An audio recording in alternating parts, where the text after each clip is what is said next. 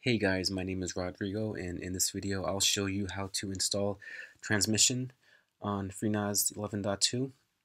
This FreeNAS 11.2 it's pretty recent, it's since December 5th, though it's about a week old and it's a bit different than the previous version 11.1. As you can see it has a new dashboard, everything, yeah it's been revamped. So let's start this, this is a fresh uh, install Everything's brand new. I haven't done anything, so I'll just start from the very beginning. So the first thing we'll do is create a pool in the storage. Pool, add, create new pool, okay. Yeah, I have two disks here. One is a terabyte, one's 500 gigabytes. So I'll just put it, the big one. Doesn't really matter because it's just to show you guys how to do it. And we give here a name. Let's say new, create, yes, confirm create pool and that's creating a pool. It should be rather quick, a couple of seconds and it should be over. After this, we will create a data set to be able to use with transmission and that's coming up right now.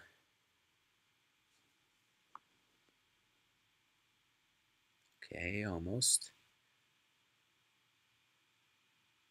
Okay, and that's done.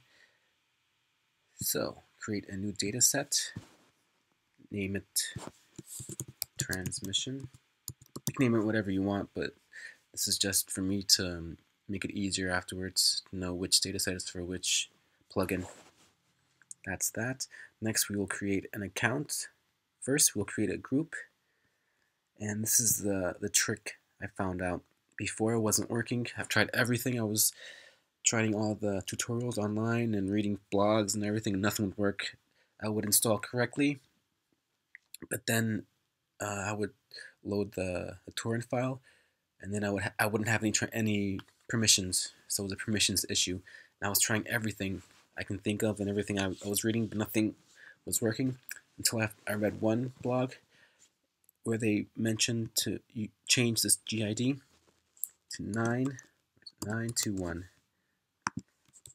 and name it transmission. And that's that. So this is a trick, putting it to 921. Everything else I've tried didn't work. So it's going to create the group. Let's just create a user. I like to always create a user named admin, but you can name it whatever you want. But the password, password I normally have, Okay, password. That's that. I always like to give full permission just to check, just for now. You can change it afterwards if you like, if you want to, I mean. That's creating a user. Next, we will add the user to that group, to the transmission group we just created. In this case, we could have created the user first and then the group afterwards, but yeah, that's hindsight. Groups, transmission, members.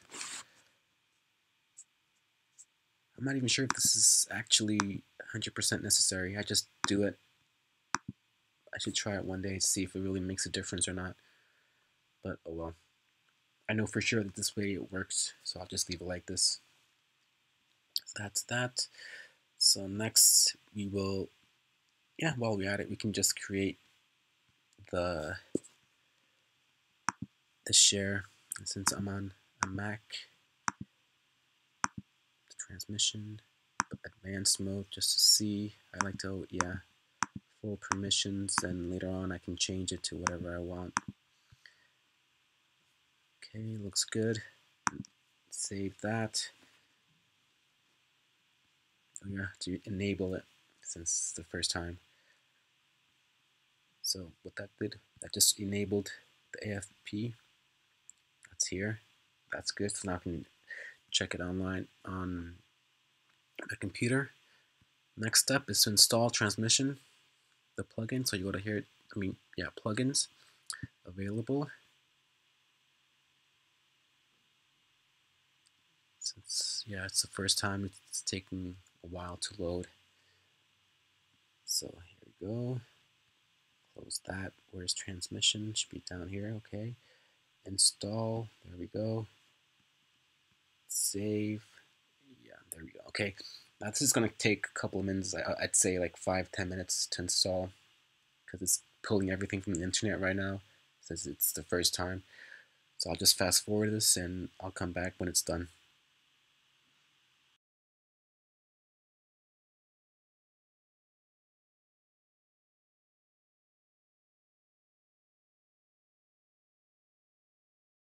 Okay, so finally it finished. Wow, it took a, long time. I'm not sure why it took so long, but yeah, it's I'm happy it finished. So that is done. Transmission is installed. Afterwards, we just go to jails here. We first have to stop it because I think it's yeah it's running. It automatically runs after installation, so we have to stop that. So next is mount points, actions, add mount point which is the previous version was uh, adding storage here. This one is called um, mounting point. Mount point. Okay, up here is transmission, destination. You go to media. Where is it? Here it is. Uh, save that. I think that's pretty much it. Let me just check once more the storage datasets that I just created to make sure it has the correct permissions because this is all about permissions. So edit permissions. Okay, so it's not, we change that to admin. Real, this group, we changed to transmission, which was the one we created. Give full access. Continue. Save. Okay, that's that. Everything's done. Let's just check it out. Go to here, installed. And start.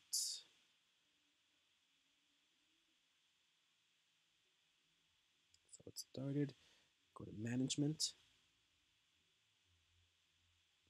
It's loading.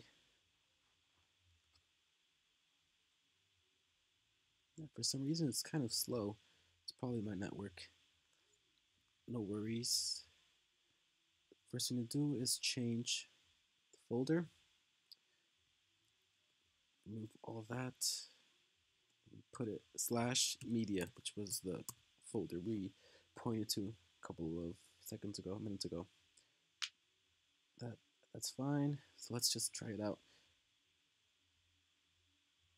Let's just try it here. Where's... Okay, now where is it? Uh, for example, this one. So